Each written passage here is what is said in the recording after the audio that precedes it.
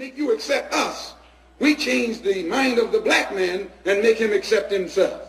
And as soon as he accepts himself, he'll solve his own problem. He won't be trying to force himself into your factory and into your bedroom and into your kitchen.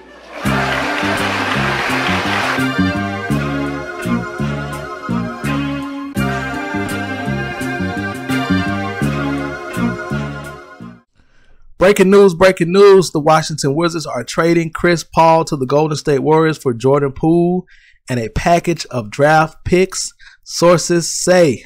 We all know that Chris Paul never actually suited up for Washington um, and was included in a blockbuster trade deal with Bradley Beal to the Phoenix Suns over the weekend, basically as a salary filler.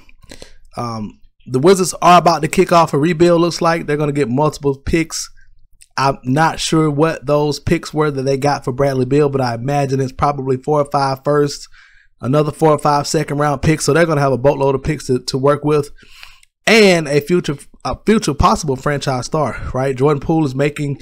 Um, he received that four year, 140 million dollar extension from the Warriors last year. Um, and so we all know how that started out with Draymond Green punching him in the face in training camp. So um, it looks like Poole is going to be able to spread his wings have his own team with the Washington Wizards.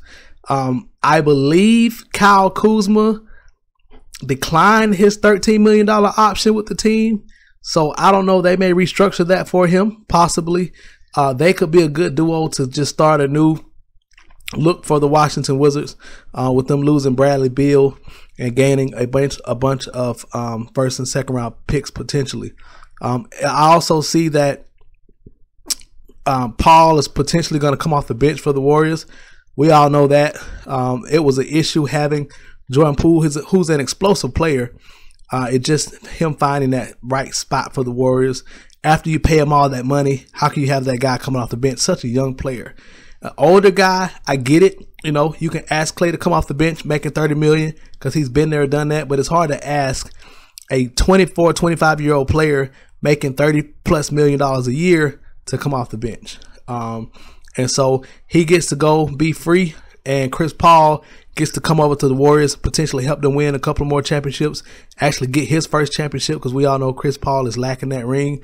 Uh, so it'll be a good opportunity for him. I actually did a video on Chris Paul coming off the bench for the Celtics. Uh, so if you haven't, go and check that video out. Uh, I think he's going to be a great fit for the Warriors. Let me know what you think about this in the comments. Don't forget to like, share, and subscribe to the video. It's your boy, Mr. Clutch 144, and I'm out. Peace. Thank you.